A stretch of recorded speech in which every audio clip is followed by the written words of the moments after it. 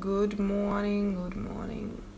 So, I wake up and we have three classes in our university today, so I'm going to cook something and to have some coffee maybe, and after it, I'll show you all my university day and I hope you will enjoy it. So, please like it.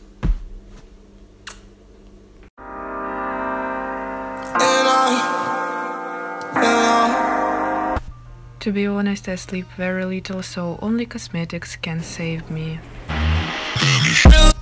In fact, I live far from the university and it takes me an hour to get there, as usual.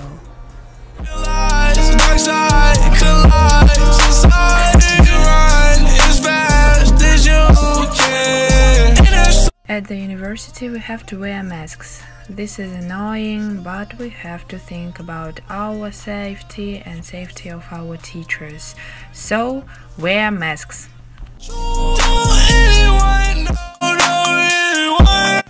Our university was founded in 1937 and it is housed in four buildings.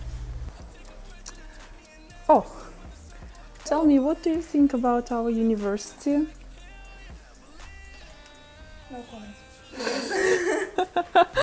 During our seminars, we usually study new grammar, learn new constructions, and sometimes it's really difficult for us, but we try our best and it's cool.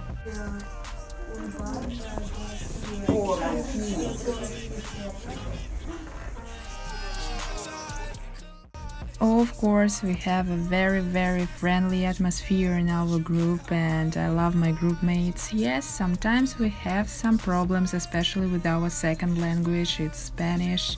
And as you see, I have some problems too, but I like it.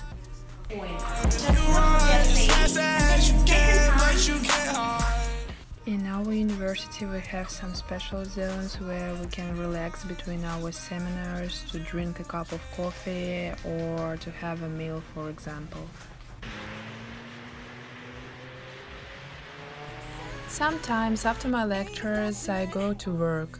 Yes, usually I work only on weekends, but there are days when I have to do it on weekdays, and sometimes it's really hard. I try to do my homework during my work time, and uh, I feel really exhausted when I return home.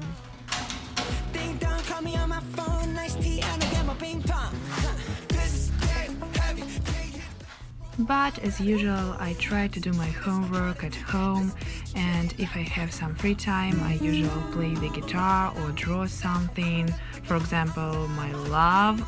so, guys, it was one day of my university life and a little bit about my ordinary student life. Maybe you will like it, maybe you will enjoy it. So, goodbye and be happy. Uh,